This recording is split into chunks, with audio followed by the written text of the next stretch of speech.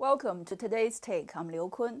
U.S. allies have a long list of expectations from the Biden presidency in terms of foreign policy, such as restoring forsaken security partnerships, returning to multinational agreements such as the JCPOA and Paris Climate Deal, and re engaging with China. At a recent event at the United States Institute of Peace, Joe Biden's national security advisor Jake Sullivan said, The most profound national security challenge facing the United States is getting our own house in order. He is right.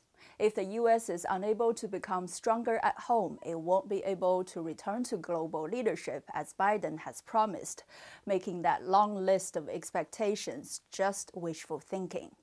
For a long time, foreign policy has been considered by average Americans as a game for the elite and by the elite.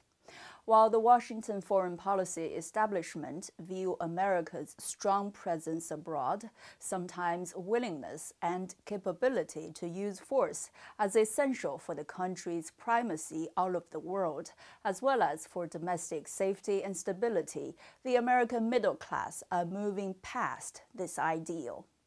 In a country where every day the rich become richer and the bulk of middle class salaries are dropping, there are far more important issues than U.S. involvement in Middle Eastern affairs. Paychecks, rent, electricity bills, healthcare, these are what matter to the American middle class. Donald Trump's victory in 2016 and the small margin between him and Biden in the 2020 popular vote with his America First policy is a testimony to how little appetite average American voters have for endless investment of resources abroad. The COVID 19 pandemic still raging in the country has introduced new challenges for Biden's foreign policy team. This is a country still grieving for more than 400,000 lives lost in just under a year. Also, 2020 saw polarization, misinformation, and cynicism running rampant in the country. Distrust in the system and government have become more popular.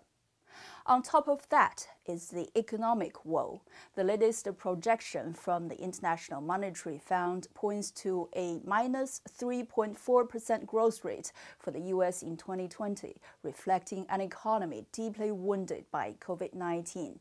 If Biden cannot get the pandemic under control and the economy running, talking about a political basis and economic capability for foreign policy is just a non starter. The more troubling and far reaching issue U.S. foreign policy makers should worry about is the presence of Trumpism, now and in the future. Its isolationism, unilateralism, and nationalism challenge the very core of international rules and norms established in the process of globalization.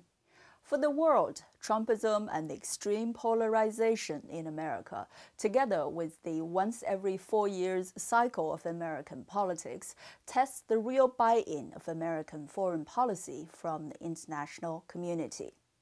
America is currently unstable in terms of determining its own beliefs, and other countries cannot just wait for it to decide. The world must move on. The Carnegie Endowment for International Peace published a report last September on how U.S. foreign policy should be made to work better for the American middle class. Jake Sullivan was among its authors. Biden's foreign policy team clearly recognizes the urgency of the issue now, making the next question of how a real test for them.